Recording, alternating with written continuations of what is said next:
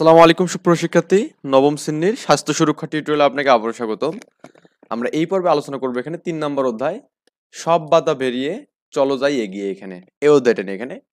আমরা এই অধ্যায় শুরুর পূর্বে, আমি কিন্তু একটা ভিডিওর মধ্যে একটা অধ্যায়কে পুরো যা আছে এখানে, একটা অধ্যায়ের মধ্যে যতগুলো শখ আছে এখানে, সবগুলো পূরণ করে দিচ্ছি এখানে। সো আমি এখানে এই ভিডিওর মাধ্যমে আমি এখানে তিন নম্বর অধ্যায় যা আছে সবগুলো দিয়ে দেবো এখানে ওকে সো আমাদের ভিডিওগুলো একটু এই জন্য লেন্থলি হবে আর কি এখানে। আমরা প্রায় সব সময় খেলাধুলা পছন্দ করি সবাই কিন্তু করে এটা। সারাদিন পড়াশোনা বা কাজ করতে কারই না ভালো লাগে এখানে। তাই পড়াশোনা বা কাজের পাশাপাশি প্রতিদিন একটা নির্দিষ্ট সময়ে শরীরচর্চা বা খেলাধুলা করলে আমাদের শরীর ও মন উভয় ভালো থাকে। নবম শ্রেণির শিক্ষার্থী রতন তা জানে সে নিজের সবসময় খেলাধুলা অংশগ্রহণ করে এখানে ওকে? এই যে দেখুন তারা সবাই নবম শ্রেণির স্টুডেন্ট তারা কি করে এই যে এরা ফুটবল নিয়ে যাচ্ছে আর কি ব্যাডমিন্টন নিয়েছে এখানে। একদিন স্বাস্থ্য সুরক্ষা আহ, শিক্ষককে রতন বলল, একটা বিষয় নিয়ে সবার সঙ্গে আলোচনা করতে চাই। শিক্ষকের সম্মতি সম্মতি পেয়ে রতন নিসের অভিজ্ঞতাটি শেয়ার করল এখানে। তো আমাদের এই অভিজ্ঞতাটা আমাদের পড়তে হবে। রতন আর মানিক দুই ভাই। রতন খুব ভালো ফুটবল খেলে। আগামীকাল রতনের বিদ্যালয়ের ফুটবল দল আন্তঃবিদ্যালয়ে ফুটবল খেলায় ফাইনালে খেলবে। রতন খুব উত্তেজিত নিজের পারদর্শিকতা নিয়ে। খাওয়ার সময় সবার সঙ্গে তা নিয়ে সে কথা বলছিল বা হচ্ছিল আর কি। মানিক খুব মনোযোগ দিয়ে কথাগুলো শুনছে বা সবার কথা শুনছে। জন্ম থেকে মানিক মানিকের পায়ে কি সমস্যা? হাঁটতে কিছুটা অসুবিধা হয়। মানে মানিক হচ্ছে কি, হাঁটতে পারে না এখানে ওকে মানিকের মাঝে মাঝে খুব মাঠে খেলতে ইচ্ছা হয়। কারোর সঙ্গে বিষয়টি নিয়ে কথা বললে সবাই তাকে ইনডোর খেলার পরামর্শ দেন। ইনডোর খেলার পরামর্শ দেন। তো আমরা দেখি একটু ইনডোর খেলা বলতে আমরা কি বুঝি এখানে? কিন্তু মানিকের ইচ্ছা হয় খোলা মাঠে রতনের মতো রতনের সঙ্গে খেলতে এখানে ওকে আজও খাবার টেবিলে রতনের কথা শুনে মনটা খারাপ হয়ে যায়। খাবার শেষে মানিক তার ভাইকে আগামীকালের খেলার জন্য শুভকামনা জানায় এবং নিজের ঘরে চলে যায়। চুপচাপ বসে সবার কথা শোনাটা রতন ঠিকই লক্ষ্য করল এখানে। রতন মনে মনে ভাইয়ের জন্য কষ্ট পায়। ছোটবেলা থেকেই রতন মানিকের সঙ্গে খেলতে চায় এখানে। কিন্তু মানিকের পায়ের সমস্যার জন্য মানিক নিজেকে গুটিয়ে রাখতো আর অন্যরা রতনের সঙ্গে মানিক ইনডোর খেলার নিরুৎসাহিত করতো এখানে ওকে কারণ রতন ফুটবল বা অন্য কোনো আউটডোর খেলা খুব পারদর্শী এখানে। মানে অর্থাৎ তাদের রতন কি বলতে রতন হচ্ছে আউটডোর খেলা বলতে যেগুলো বাইরে খেলা হয় এখানে। আর ইনডোর বলতে কি? যেগুলো ঘরের ভেতর খেলা হয় ওকে ইনডোর ইন মানে হচ্ছে ভেতরে আউট মানে বাইরে কি ওকে আচ্ছা। তাই ভাইয়ের সঙ্গে সেভাবে কখনো রতনের খেলা হয়ে ওঠেনি, কিন্তু আজকে রতনের মন খুব খারাপ লাগছে এখানে। সো আমাদের এই হিস্টোরিটা এখানে বলছে, তো আমরা এখানে দেখব, আমরা কি কখনো লক্ষ্য করেছি? আমরা সবাই সব খেলতে পারি না। না পারি মানে আমরা কিন্তু সবাই কিন্তু সব খেলতে পারি না কিন্তু হ্যাঁ? না তা পারি না কিন্তু। কেন? বাধা কোথায়? তাহলে কি যারা খেলাধুলা করতে চায়, তাদের ইচ্ছা পূরণ হওয়ার নয়? আচ্ছা এমন কি কোনো নিয়ম বা ব্যবস্থা আছে, যেখানে মানিকের মতো সবাই, সবাইকে নিয়ে একসঙ্গে খেলা যায় এখানে? এবারের শিখন অভিজ্ঞতাটি আমরা এই প্রশ্নগুলোর উত্তর খুঁজবো এখানে। মানে আমাদের যারা প্রতিবন্ধী, যাদের সমস্যা পায়, তারাও যেন খেলতে পারে, আমরাও যেন খেলতে পারি। সবাই একসাথে খেলতে পারি, এমন কি কোনো নিয়ম আছে কিনা এটা আমাদের বলছে? আমাদের বন্ধুদের নিয়ে কীভাবে আমরা শরীরচর্চা বা খেলাধুলা মানে আনন্দ উপভোগ করতে পারি, তার উপায় খুঁজে পাওয়ার জন্য আমাদের এই অভিজ্ঞতাটি লক্ষ্য করতে হবে এখানে। তো আমাদের দেখি একটু আমাদের এখানে কি বলছে। তাই এই জন্য প্রথমেই খুঁজে দেখব আমরা যে প্রচলিত খেলাগুলো সচরাচর খেলি, এগুলোর মধ্যে কোন কোন খেলা কে কে খেলতে পারেন, আর এক্ষেত্রে কি কি বাধা রয়েছে এখানে। এরপর সব যেন খেলায় মানে হ্যাঁ সবাই যেন খেলায় অংশগ্রহণ করতে পারে, তার উপায় নিয়ে আলোচনা করব। এরপর জাতীয় এবং আন্তর্জাতিক খেলা সবাই যেন সুযোগ পায় বা এই এই এই ধরনের বিষয় নিয়ে আমরা আলোচনা করব এখানে ওকে তো আমরা এখানে দেখতে এখানে ধনুক মারতেছে এখানে একজন। তো একজন ধনুক মারতেছে আর একজন কি বলতো দৌড় মারছে এখানে ওকে মানে যাই হোক, আমরা এখানে দেখতেছি এই বিষয়গুলো। রতন মানিককে নিয়ে ভাবছে আচ্ছা আমরা কি কখনো এই ব্যাপারটা নিয়ে ভেবেছি? আমাদের যদি পাশে কেউ ভাই থাকে, তো আমরা কি কখনো দেখছি? তাই তাকে নিয়ে কখনো ভাবছি? আমরা শুধু আমাদের মতো করে কিন্তু খেলছি, তাদেরকে কিন্তু বলিনি। বা যারা অনেকেই বলছেন, তো যারা বলছেন অবশ্যই তাদেরকে অনেক অনেক ধন্যবাদ। অবশ্যই আমাদের পরিবারের সবাইকে নিয়ে আমাদের ভাবতে হবে। একটা গ্রামের সবাইকে নিয়ে ভাবতে হবে। যারা আমাদের সাথে খেলাধুলা করে, তাদের সবাইকে নিয়ে ভাবতে হবে। কারণ সে আমার বন্ধু। আমার কোনো কষ্ট মানে কথায় যেন তার জন্য মন খারাপ নয় এটা আমাদের অবশ্যই খেয়াল রাখতে হবে। এবং আমার যারা বয়স্ক মানুষ, তাদের প্রতি আমাদের শ্রদ্ধাশীল আচরণ করতে হবে কিন্তু সবাইকে। আমি, আমার এই ভিডিওটা যারা দেখতেছেন, অবশ্যই খুব ভালো করে একটু মনোযোগ দিয়ে শুনবেন। আপনি আপনার পিতামাতার সাথে অবশ্যই অনেক ভালো ব্যবহার করবেন, ওকে? কারণ আপনার পিতামাতার থেকে আপনার আপনার কেউ নেই। আল্লাহর পরে যার স্থান, আমি মনে করি যে রাসূল আল্লাহর পর রাসূল, তারপরে পিতামাতাকে আমরা স্থান দেবো এখানে বা দেই এখানে। সো আমরা পিতামাতার সাথে ভালো ব্যবহার করব এবং আমাদের যে আশপাশে মুরব্বী মানুষরা আছে, তাদের সাথে আমরা খুব শ্রদ্ধাশীল আচরণ করব এখানে, ওকে? আমরা কখনো খারাপ ব্যবহার করব না কারোর সাথে। সবাই কি সব খেলা খেলতে পারে? কেন পারে না? না পারার কি কি বাধা আছে এখানে? তো আমাদের এই যে অনেকগুলো কোশ্চেন কিন্তু হচ্ছে এখানে। তো আমরা এখানে যে পরের পৃষ্ঠায় বলছে, প্রচলিত ইনডোর এবং আউটডোর খেলা যেগুলো সবাই খেলতে পারে না শখে আমাদের তালিকা করতে বলছে এখানে ওকে এই যেখানে দেখুন, আমাদের প্রচলিত ইনডোর এবং আউটডোর খেলা যেগুলো সবাই খেলতে পারে না, একটা আমরা তালিকা করব। খেলার ধরন, খেলার নাম, তারপরে এখানে হচ্ছে কেন পারে না, বাধাগুলো কি কি এখানে? তো আমরা এখানে জাস্ট এই শখগুলো পূরণ করব যে ইনডোর খেলার জন্য আমাদের কি কি দেবো এখানে? তা খেলার নামগুলো কি এবং কেন পারে না? এবং আউটডোর খেলাগুলো কি হবে? আমি সবগুলো এখানে স্টেপ স্টেপ দিচ্ছি এখানে। সো একটু দেখে নেন এখানে, হুম? তো খেলার ধরনটা আমি যদি দেখি এখানে, দেখা যাচ্ছে খেলার ধরন হচ্ছে ইনডোর খেলার নাম হচ্ছে লুডু ডাবা পাজল হ্যাঁ টেবিল টেবিল টেনিস, তারপরে হচ্ছে ক্যারাম বোর্ড, এগুলো হচ্ছে ইনডোর মানে ভেতরে খেলা কিন্তু। যে কোনো প্রতিবন্ধী লোক কিন্তু চাইলে এই খেলাগুলো খেলতে পারে হ্যাঁ? কেন পারে না বা বাধাগুলোকে কি? বুদ্ধি প্রতিভা মানে আমাদের যাদের বুদ্ধি কম এখানে, তারা কি কখনো এগুলো পারবে, এগুলো খেলতে? মানে যেমন ডাবা খেলতে পারবে কখনো? যারা, কারণ ডাবা খেলতে গেলে অবশ্যই আমাদের বুদ্ধি লাগবে এখানে ওকে আমাদের বুদ্ধি কি লাগবে এখানে? তাদের সীমাবদ্ধতার জন্য খেলতে পারে না। অন্যদিকে টেবিল টেনিস বা ক্যারাম বোর্ড এইসব খেলা বুদ্ধি বা প্রতিবন্ধী ও শারীরিক প্রতিবন্ধী কেউ খেলতে পারে না। যথাক্রমে তাদের মানসিক এবং শারীরিক প্রতিবন্ধকের কারণে এখানে। তা মানসিক এবং শারীরিক প্রতিবন্ধের কারণে কিন্তু এটা কেউ খেলতে পারে না এখানে। অ্যান্ড হচ্ছে আউটডোর যে খেলাগুলো আছে, যেমন cricket football, kabaddi, volleyball, handball, badminton ইত্যাদি। এগুলো হচ্ছে আমাদের শারীরিক প্রতিবন্ধী এবং বুদ্ধি প্রতিবন্ধুরা এইসব খেলা খেলতে পারে না। কারণ এইসব খেলায় প্রচুর গতি দম এবং শক্তির প্রয়োজন হয় এখানে, ওকে?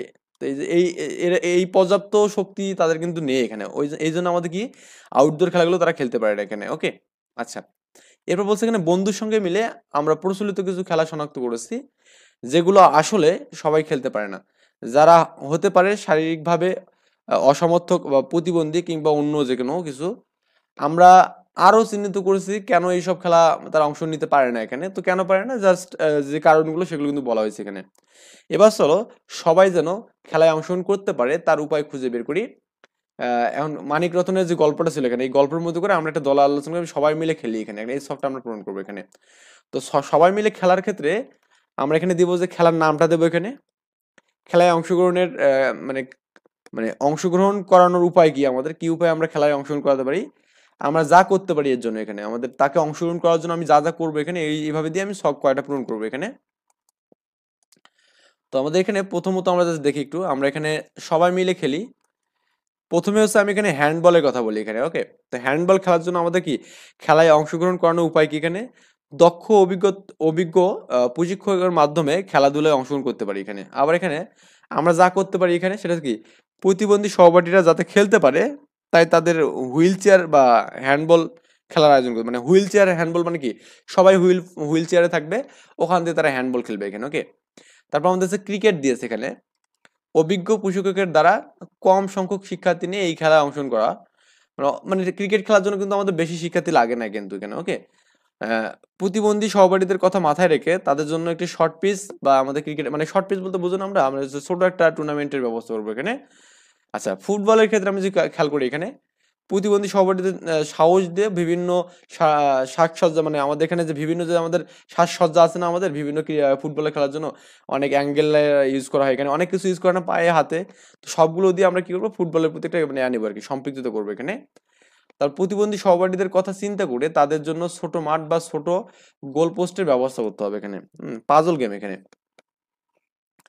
তাদেরকে সম্পৃক্ত করার উদ্দেশ্যে পাজল বোর্ডের দৃষ্টিনন্দন ছবি লাগাতে হবে এখানে। তারা যাতে আকৃষ্ট হয়ে যায় এখানে ছবি দেখে, তো এরকম একটা ছবি আমাদের লাগাতে হবে। প্রতিবন্ধী সহপাঠীদের কথা মাথায় রেখে তাদের জন্য সহজে মিলানো যায় এমন একটা পাজল মানে আমাদের খুব দ্রুত মিলে যাবে আর কি যেগুলো, যে পাজলগুলো খুব মানে দ্রুত মিলবে আর কি, এইরকম হার্ড না আর কি হ্যাঁ? ব্যাডমিন্টনের কথা যদি ভাবি এখানে, তাদেরকে সম্পৃক্ত করার জন্য দক্ষ প্রশিক্ষক লাগবে মাস্ট বি এখানে, হুম? মানে দক্ষ প্রশিক্ষক হলে হবে কি যে তাকে বুঝায় সে কি মানে খেলার প্রতি কি ইন্টারেস্টিং করতে পারবে এখানে? তাদের জন্য কালারফুল নোট ব্যাট কোর্টের ব্যবস্থা রাখতে হবে এখানে ওকে তো সাথে আমাদের হুইল চেয়ার কিন্তু ব্যবস্থা করতে হবে এখানে, তাছাড়া কিন্তু তারা খেলতে পারবে না এখানে। আচ্ছা। তো আমরা এই বিষয়গুলো একটু পড়ে নেব ভাই পড়লেই বুঝতে হবে এখানে। এখানে বলছে যে খেলাধুলায় সবার সুযোগ, অংশগ্রহণ, অধিকার নিশ্চিত করতে প্রতিবন্ধীদের জন্য কিছু খেলা এখানে। তো আমাদের এখানে এই খেলাগুলোর নাম দিয়েছি দেখুন এখানে আমাদের একটু জাস্ট রিভিউ যে আমি করি এখানে। পাঁচের সাইড ফুটবল প্রতি দলের তিনজন অতিরিক্ত খেলোয়াড় সহ মোট আটজন খেলোয়াড় থাকে এখানে। এই তিনজন প্রতিবন্ধী বা দুইজন এবং এখানে জাস্ট পড়লে, পড়লেই বুঝতে পারবেন এখানে। তো সেভেন সাইড ফুটবল তারপরে এখানে দেওয়া আছে এখানে। তার মানে প্রতি দলে পাঁচজন অতিরিক্ত থাকবে এখানে সেভেন সাইড ফুটবলের ক্ষেত্রে। তারপরে এখানে আমাদের, আপনার এখানে যে ফাইভ সাইড বাস্কেটবল এখানে, তারপরে এখানে এইট ইউনিফাইড কি বলছে এখানে? অ্যাথলেটিক্স এখানে। তো আমরা এটা জাস্ট এখানে দেখব। এগুলো সব পড়ব এখানে।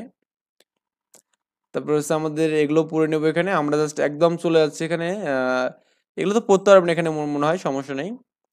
আমাদের প্রতিবন্ধী প্রতিবন্ধী বান্ধব খেলা খেলাধুলায় আমাদের পরিকল্পনা এখানে। তো প্রথমত আমাদের ক্রমিক নাম আছে, তারপরে আমাদের আমাদের দলের খেলার নাম এখানে, তারপরে কীভাবে খেলব নিয়ম কানুন কীভাবে, শিথিল বা পরিবর্তন করবে, এখানে আমাদের এই বিষয়গুলো দেবে। তো এক নম্বর, দুই নম্বর এবং দুটো খেলা আছে এখানে। তো আমাদের দলের নাম কি দেবো? এখানে আমাদের কীভাবে আমরা খেলব, এগুলো আমরা এখানে এখানে শখে পূরণ করব এখানে, ওকে? তো আমরা এই শখটা এখন পূরণ করা দেখি এখানে।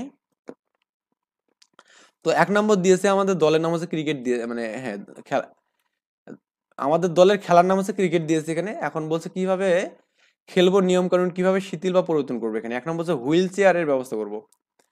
ক্রিকেট মাঠের আকার ছোট করব এবং ক্রিকেট পিচের আকার ছোট করব। প্রতিবন্ধীদের কথা চিন্তা করে কম ও মানে কম ওজনে ব্যাট ব্যবহার করব বা বলও ব্যবহার করব এখানে, ওকে? তারপরে আমরা এখানে কী করব? তাদের জন্য বিশেষভাবে বানানো জার্সি এবং ক্রিটের ব্যবহার মানে ক্রিট মানে বুঝুন তো খাবার দাবারের বিষয় আছে এখানে। অ্যান্ড দুই নম্বর খেলাধুলা হচ্ছে ফুটবল। এর জন্য গোল পোস্টের আকার ছোট করব এখানে। তারপরে মাঠের আকারও ছোট করব। পাতলা ফুটবল নেব মানে আমাদের পাতলা যে ফুটবলগুলো পাওয়া যায়, তারপরে খেলার সময় কমিয়ে দেবো এখানে। খেলার মাঝে বেশি বেশি বিরতি দেবো, যাতে তারা কি বিশ্রাম নিতে পারে এখানে হ্যাঁ? তো এগুলো করলে কিন্তু আমাদের মোটামুটি এখানে শেষ আর কি। এরপর আমরা এখানে দেখতেছি সাঁত্রিশ আটত্রিশ পেজে আমাদের এখানে কি বলছে যে, আমরা সবাই খেলার সাথী। এই বিষয়টা আমাদের দেখতেছি পরিকল্পনা অনুযায়ী কি কি কাজ করেছে এখানে।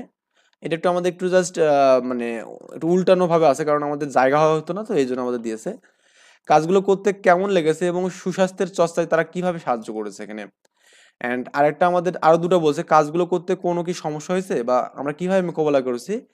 এবং আমাদের কোনো সহযোগিতার প্রয়োজন আছে কি? থাকলে কি ধরনের সেটা আমাদের বলছে। আমরা কিন্তু এরকম টাইপের এরকম টাইপের শখ কিন্তু আমরা প্রথম অধ্যায় এবং দ্বিতীয় অধ্যায় উভয়টাতে করছি। তো সবগুলোতে কিন্তু সেম সেম বিষয়ে বলা আছে এখানে। সো সবগুলোতে একই জিনিস আমি দিয়েছি। তো তারপরে আমি একটু বলে দিই।